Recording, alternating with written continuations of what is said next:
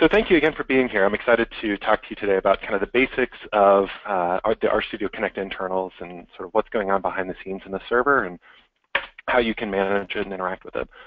So we're going to cover uh, a few different topics today. So we'll start with uh, just a basic introduction to what is RStudio Connect. So if you're unfamiliar um, or that you're new to this product, then uh, you know we'll cover that briefly.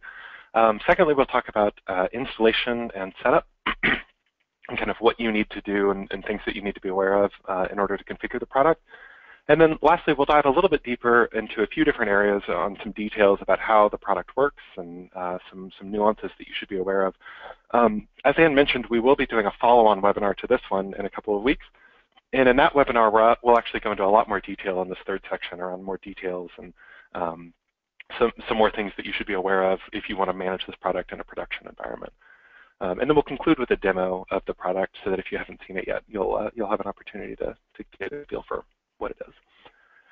So RStudio Connect is an enterprise publishing and management platform. It can handle static and dynamic content, basically anything that you can create with R, including documents, presentations, dashboards, and Shiny applications. And uh, so one of the nice things about this is that it has push-button publishing from the RStudio IDE. And so uh, if you're using a recent version of the IDE, you'll see this little publish button that you see here up at the top right. Uh, you should be able to click that and click Publish to RStudio Connect. And if you register an account on an RStudio Connect server, you'll be able to seamlessly publish documents and R Markdown documents and uh, Shiny applications and anything else that you're producing in the IDE into Connect.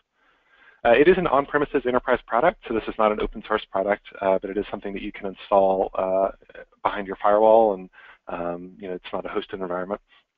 Uh, and lastly, it obviously is, is meant for kind of sharing data science artifacts within your organization. So this is a sneak peek of kind of what uh, most of your users are going to see when they look at RStudio Connect. So on the right here, this is kind of the full panel, and you can see uh, the majority of the space is taken up uh, on this lower left here by the Shiny application. This is what your users or you uh, would be creating uh, to, to share within your organization. Uh, up at the top, you can see we have kind of a settings toolbar and uh, some management there of the content. And then over on the right, you've got your settings panel, uh, which is where you can manage, in this case, the performance of the Shiny application. Uh, you can see another screenshot separately on the left here of what it looks like to manage the access controls of uh, different content on the server as well.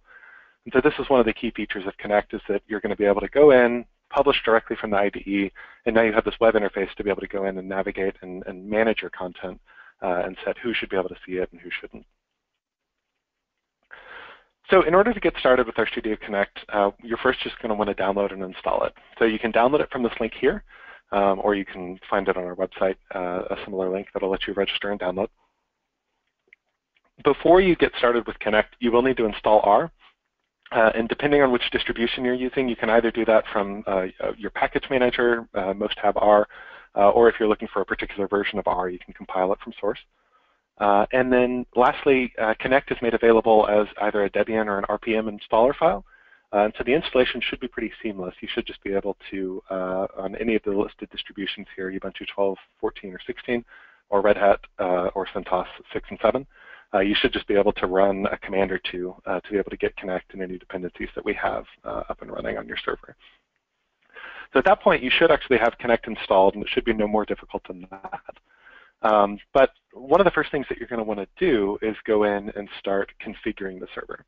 And so uh, you can see here an example on the right of what a configuration file looks like. And uh, so this, these are just some of the basic settings that you might be interested in managing on the server. Um, so up at the top here, you can see you've got your sender email. That's the email address from which you'll be sending um, any outgoing email on the on the server will be sent. Uh, you've got your address, which is the URL where users should uh, expect to come back to your server. And then you've got basic settings here around, you know, which ports do you want to be listening on. If you want to use SSL, you can set up your certificate and your key. Uh, and then you can also configure authentication